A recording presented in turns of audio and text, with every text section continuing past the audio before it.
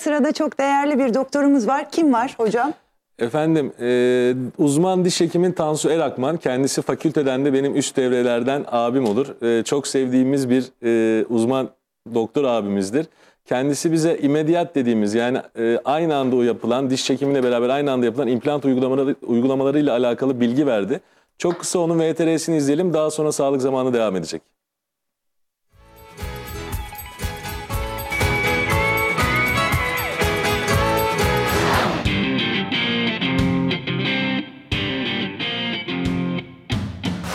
Hocam öncelikle bizi ağırladığınız için çok teşekkür ederiz. Dişin çekilmesine karar verildikten sonra en erken ne zaman implant yerleştirilebilir? Öncelikle merhaba diyorum. Ee, dişin çekildikten sonra e, ne zaman implant yerleştirilmesine dair tabii çok çeşitli görüşler bulunmakta. Bunlardan e, en çok kabul göreni mümkünse diş çekilir çekilmez implant yapılması yönündedir. Bu tekniğe de immediat implant yerleştirme tekniği diyoruz. Peki her diş çekiminden sonra immediat implant yapılabilir mi? Yapılıyorsa eğer avantajları nelerdir? Şimdi tabii her diş çekiminden sonra immediat implant yapılabilir diyemiyoruz. Çünkü e, bu işi yapabilmek için bazı şartların uygun olması gerekiyor. E, bu şartların başında birincisi e, işte diş kökünde çok çok fazla bir iltihap veya bir apse, enfeksiyon bulunmaması gerektiği. diş köklerinde herhangi bir malformasyon bulunmaması gerektiği. Diş etinin sağlıklı, e, hastada herhangi bir diş eti sağlığı, e, diş eti hastalığı gibi bir sorunun olmaması gerektiği gibi kriterler var.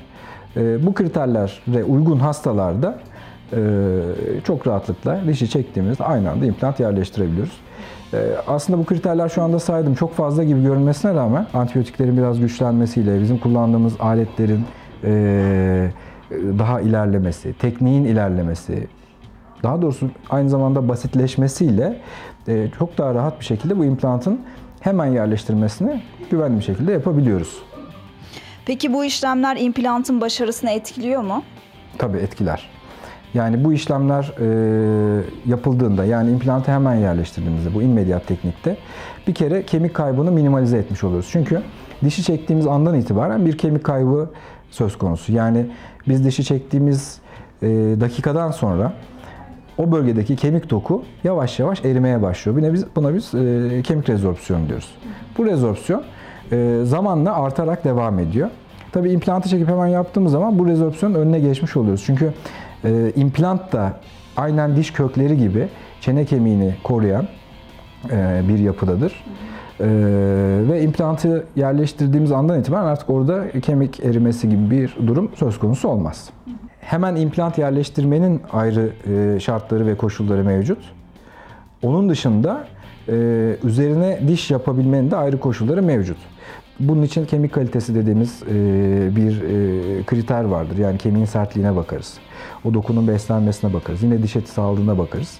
Bu şartlar uygunsa implantın üzerine hemen de bir diş yapabiliyoruz. Ancak şunu belirteyim. Bu diş bizim yaptığımız gerçek diş gibi değil. Yani bu dişi hasta kullanırken bizim e, önerilerimize mutlaka dikkat etmesi gerekiyor. Yani yumuşak gıdalar çiğnemesi gerekiyor, bu tarafı kullanmaması gerekiyor gibi şeyler. Yani biz buraya bir diş yapacağız implantın üzerine ve bunu hemen kullanmaya başlayacağız. E, işte sert fındık fıstık her şeyi yiyebileceğiz dersek doğru bir şey söylemiş olmayız hastaya.